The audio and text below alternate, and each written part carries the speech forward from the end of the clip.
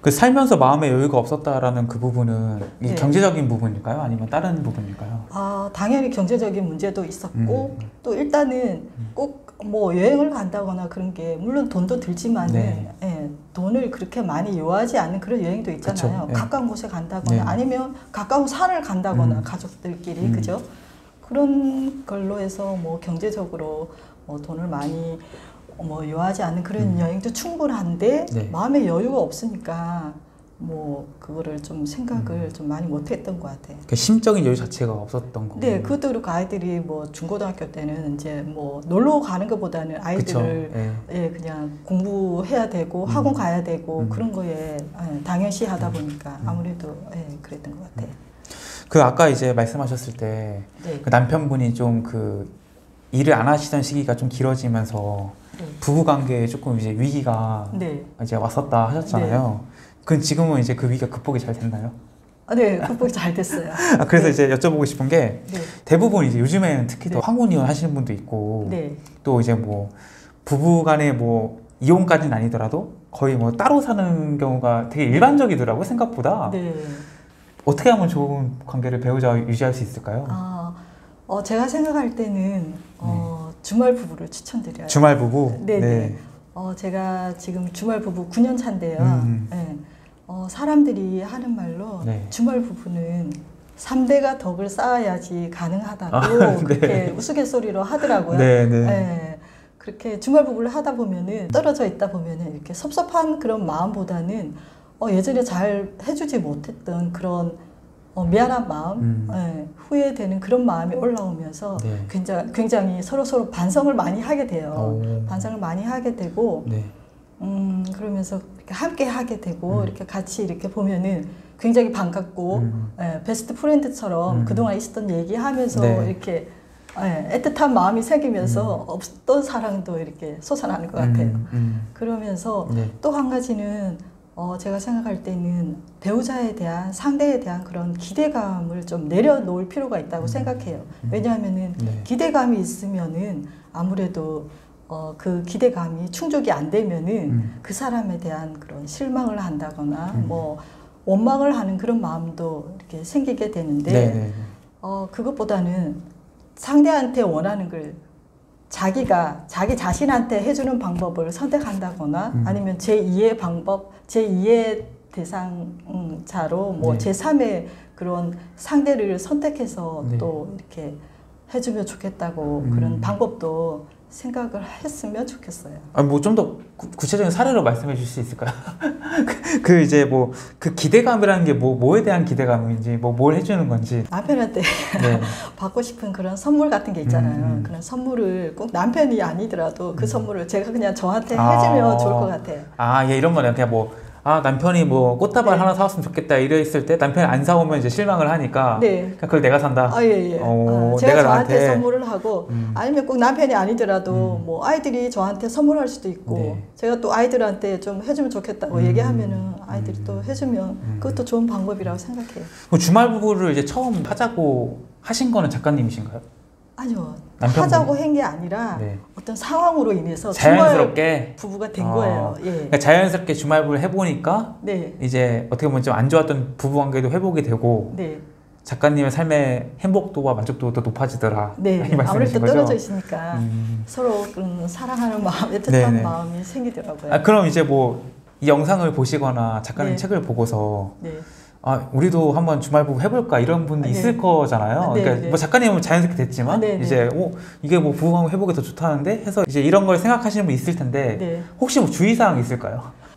주의사. 아, 주의사항이라면은 네. 어, 제일 뭐 기본적인 서로가 서로에 대한 그런 믿음 음. 그게 제일 예, 음. 기본으로 가지고 있으면은 네.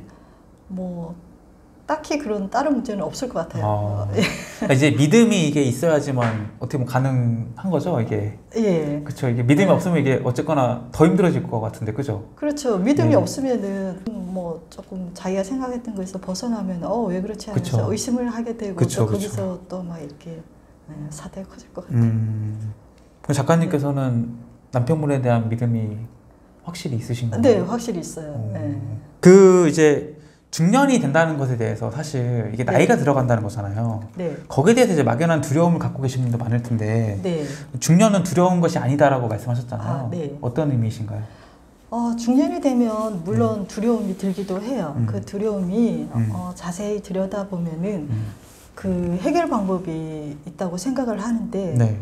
어, 그 두려움을 보통 우리는 회피하거나 그거를 잘 들여다보지 않으려고 하는데 네. 이렇게 찬찬히 들여다보면서 해결 음. 방법을 찾으면 되거든요. 음. 제일 먼저 중년이 되면은 신체적인 변화가 오는데 네. 노안이 온다거나 네. 뭐 호르몬의 변화로 인해서 숙면을 취하기가 음. 힘들어져요. 음.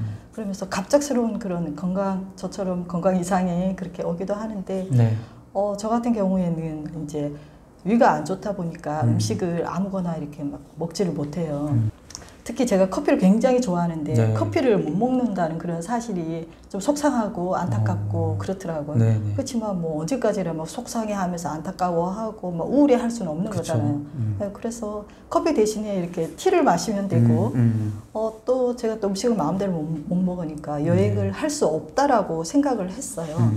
음. 그렇지만 또 가만히 생각해 보면은 음. 어, 저한테 맞는 음식을 만들어서 음. 도시락을 싸가지고 또 음. 여행지 가서 여행을 하면 되더라고요. 음. 예, 그런 식으로 예, 자신이 어떻게 하면 지금보다 좀 더 나은 생활, 좀 더 행복하, 행복해질까를 생각한다면 분명히 음. 방법이 있고 그게 음. 좀더 생산적이지 않나 그런 생각을 하게 됐어요. 중년이 이제 네, 그냥 뭐 굳이 이게 딱 정해지는 거 아니지만 이전을 생각하면 청년이라고 보통 많이 표현을 하잖아요. 네, 그 청년에서 딱 중, 중년이 됐을 때 네.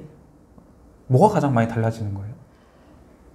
아무래도 이제 저 같은 경우에는 네. 남편하고 아이들이 좀 주는 그런 행복감을 많이 음. 느꼈기 때문에 네. 아이들이 성장하는 걸 아. 보면서 많이 행복감을 느꼈는데 네. 아이들이 커가면서 지금은 이제 아이들이 성인이 다 독립을 이제 하니까 같이 예. 보내는 시간이 적어지고 네네 내가 어떻게 보면 이제 뭐 혼자가 될 수도 있는 거고 네. 약간 좀 주체적인 삶을 살아갈 수도 있는 거고 네네 자율적인 삶을 살아가는 네네. 삶을 살게 되는군요. 그게. 네. 음, 그러면 이제 그렇게 주체적으로 이제 사용할 수 있는 시간이 네. 늘어난다는 게 중년이라는 측면을 봤을 때 네. 중년 이후에 네. 내가 내 삶의 주인공으로 살아가기 위해 반드시 해야 되는 거 뭐가 아, 있을까요? 반드시 해야 되는 거요. 네. 제가 생각할 때는 중년 이후의 그 삶은 음. 심적으로나 시간적으로 어, 굉장히 여유감이 많이 생기는 것 같아요. 음. 또 여러 부분에서 또 자유로움을 많이 느끼거든요. 네. 네, 그러면서 아이들이 또 성인이 되니까 뭐 예전처럼 아이들한테 많이 뭐 신경을 쓴다거나 음. 그런 경우가 좀 줄어드니까 음.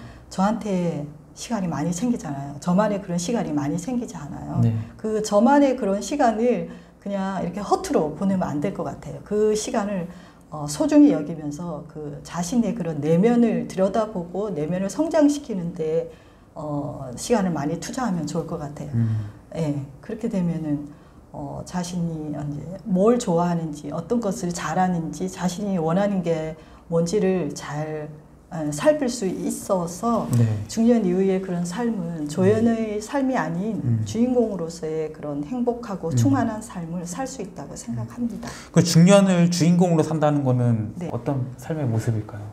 어, 예전에는 네. 어, 가족들한테 어. 시간을 많이 네. 예, 보내고 가족들이 중심이었죠. 음. 예, 저보다는 가족을 중심으로 해가지고 이제 모든 일들이 이제 예, 진행되고 음. 그랬는데 이제 가족도 좋지만은 네. 이제 저한테 이제 집중한다는 게 그게 중요한 것 같아요.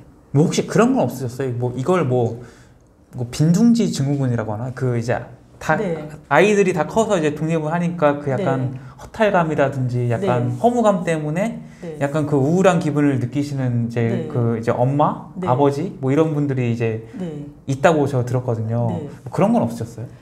그런 게 있을까봐 제가 네. 좀 생각을 하기는 했어요. 음. 그 빈둥지 증후군이 오기 전에 음. 미리 아이들이 어느 정도 크면은 네. 어, 제 나름대로 뭐 자원봉사를 한다거나 어. 그런 걸 하면 좋지 않을까 네. 해서 사실 자원봉사를 예, 했었어요. 어. 네.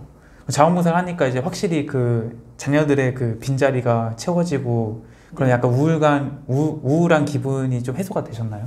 아, 네, 네, 해소가 됐었어요. 네. 음. 그럼 혹시 뭐 자원봉사 말고 뭐 그런 이제 우울감을 느끼시는 네. 분들이 네, 해볼 만한 뭐 활동이나 네. 추천할 만한 거 혹시 있으신가요? 자원봉사 말고 음. 뭐 자신이 관심이 있다거나 자신이 좋아하는 분야에서 네. 예, 뭐 하면 좋을 것 같아요. 끝으로 이제 구독자분들에게 하고 싶은 말. 네. 어, 구독자분들에게 네. 음, 많은 중년들이 중년의 무게감을 느끼면서 힘들어하고 계시는데 하지만 우리 중년들은 그 힘든 상황을 잘 견뎌왔고 음. 지금도 잘 견디고 있고 앞으로도 자, 잘 견뎌 나갈 것이라고 생각을 하고 있고요. 음. 그러면서 이제 타인이나 뭐 가족보다는 이제는 좀 자신을 조금 더 아끼고 사랑하는 마음을 가진다면은 지금보다 좀더 어, 행복한 중년을 보낼 수 있을 것이라 생각하고 사실 이 세상에서 제일 소중하고 중요하고 하나뿐인 존재는 저 자신이잖아요. 그렇죠. 예, 네. 제가 있어야지 가족들을 사랑할 수 있고 맞아요. 그 사랑을 나눌 수 있고 예, 그 돌볼 수 있고 음. 예, 그러니까 그런 것들을 잘 염두에 두시면서 그렇게 음. 생활하셨으면 좋겠어요. 네, 그래서 오늘은 이제 중년이 되면 괜찮을 줄 알았다의 저자 조숙경 작가님 모시고 이야기 나눠봤습니다. 오늘 좋은 말씀에 감사하고요. 영상 봐주신 구독자분들도 고맙습니다. 감사합니다. 감사합니다.